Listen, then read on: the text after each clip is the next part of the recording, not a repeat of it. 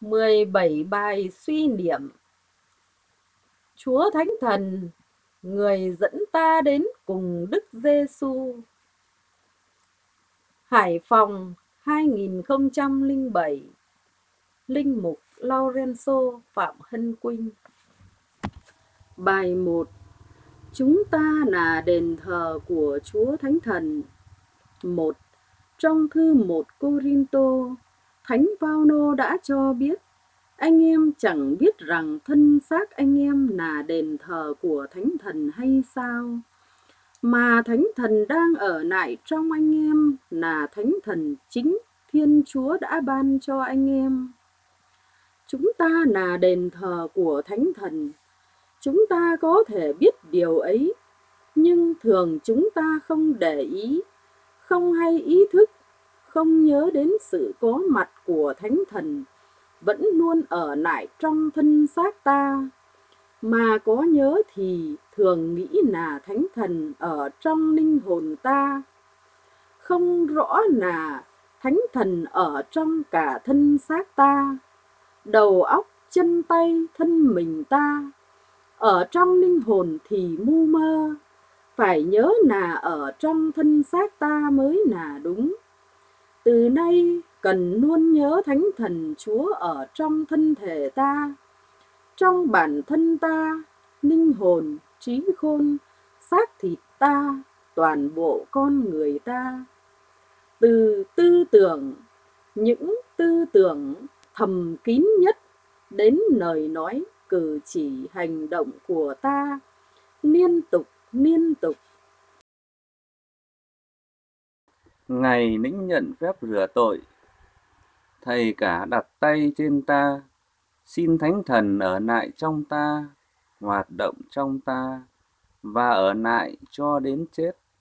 Từ ngày ấy ta là đền thờ của Thánh Thần. Lần ấy và từ ngày ấy, Thánh Thần đưa Đức Giêsu đã chết và đã phục sinh đến trong ta và biến đổi chúng ta dần dần thành con Thiên Chúa, giống như Đức Giêsu.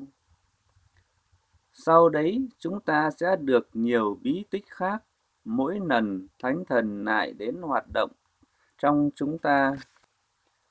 Một cách, một kiểu, một thể riêng.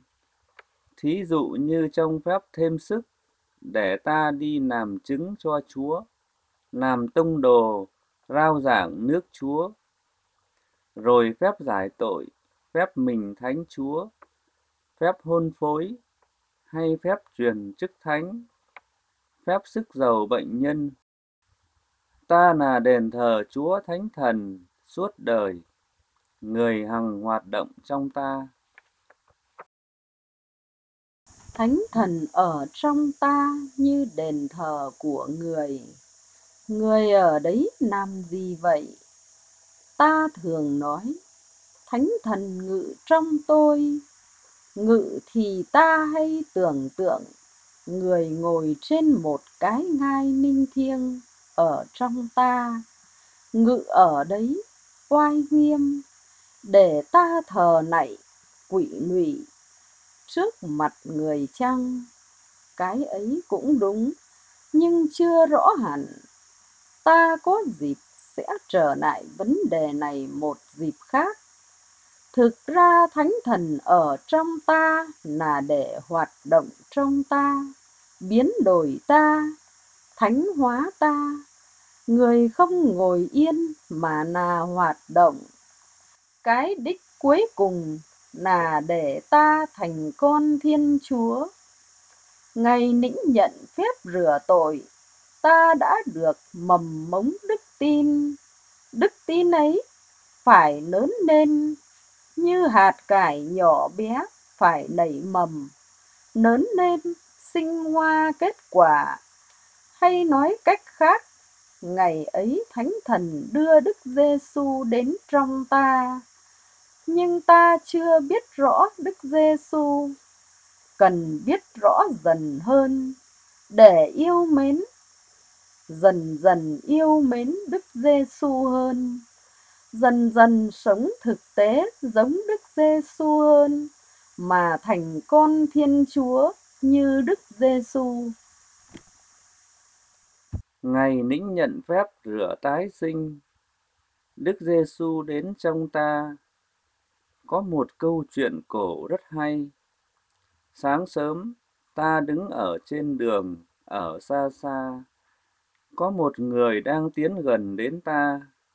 Ta biết là một người, nhưng chưa biết rõ là ai.